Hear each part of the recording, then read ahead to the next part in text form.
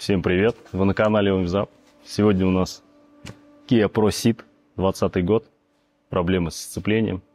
Здесь у нас 1.6 турбо с семиступенчатым сухим роботом.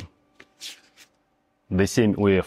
Это у нас редкий автомобиль для нашего рынка. В основном эти версии у нас 1.6 с шестиступенчатым автоматом. Особенность данных коробок – это проблемы с сцеплением в районе 100 тысяч километров пробега проявляется как пинки, толчки, пробуксовки. Так можно ездить долго. На данном автомобиле владелец проехал 102 тысячи километров. С его слов с проблемой, что периодически коробка пинается, ведет себя неадекватно. Во время выполнения тестовой поездки ничего не проявилось сверхъестественного. Обычные там, резкое включение периодически, это нормально. Но в процессе выполнения адаптации адаптация не проходит.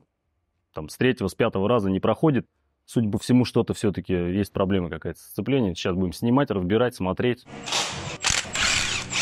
Сняли коробку. На первый взгляд нам в глаза бросается разный выход штоков активатора сцепления.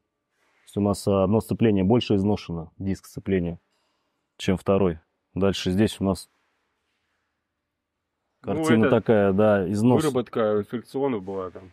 Ну, видна крошка, она вся свалилась туда вниз сейчас, пока мы тут крутили ее все это дело. Сейчас снимем сцепление, посмотрим, что там дальше у нас. И видим, как оно там рассыпалось. Больше всего его вот здесь.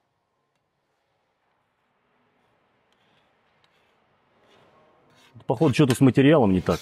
Что какой-то износ ну, странный. Один подзажатый ты видишь здесь, да? Да, один диск у нас свободно ходит. А второй прям там чувствует, что он зажат. Но эта штука неразборная, меняется целиком. Поэтому. Да, меняется в сборе. Мы здесь будем менять и сцепление, э, выжимные, вилки, потому что у них есть проблемы с подклиниванием на оси. И маховик. Пойдем маховик смотреть? Да, Что там у нас с маховиком?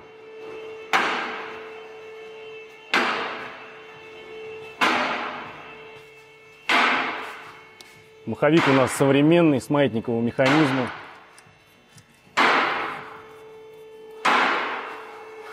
Меняем все сразу, чтобы больше сюда не лазить следующие 100-150 тысяч километров. Проблема у нас была э, по адаптации, не проходил адаптацию. То есть ездил в каком-то режиме полуаварийном долго. Сейчас все адаптации пройдены, все работает штатно все как должно быть.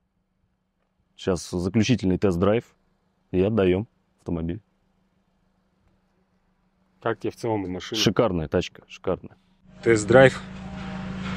Сейчас посмотрим, как двухметровый человек помещается на заднем ряду хэтчбека. Ну, в притирочку, скажем так, да? Ну и впереди кресло до конца почти. А, а, ну да, впереди значительное расстояние. Что, поехали? Да. Делись впечатлениями. Так, ну что, ну что. Старт неплохой стал. Без рывков, без дерганий, переключения плавно.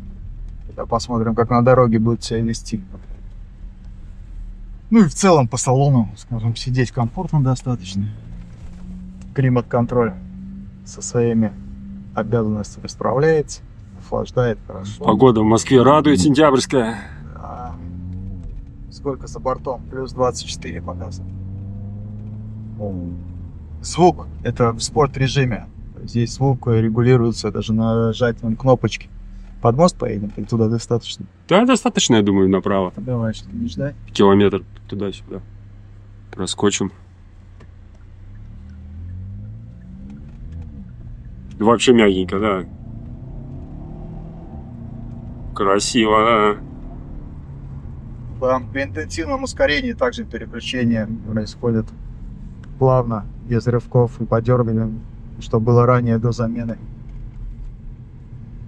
Ну, в общем-то, мы справились, скажем Да, справились. И можно сказать, уже какая-то стати статистика вот в районе соточки. Соточка, да. Готовится к такому мероприятию в виде замены комплекта сцепления вместе с вилками, с маховиком. Полный комплект.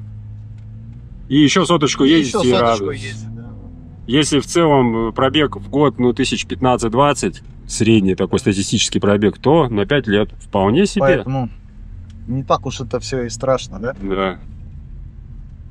Зато при работающем, да, вот как вообще, представляешь, отличается и управляемость, и ощущение от управления автомобилем. Да. Ну, в целом, комфортно и приятно. Ну и на этом, наверное, будем заканчивать. Да, поэтому, если вдруг у вас возникли какие-то проблемы в обслуживании, в ремонте, в эксплуатации данных автомобилей, прошу обращаться. Будем рады вам помочь. Все. Всем пока. Всё. Подписывайтесь.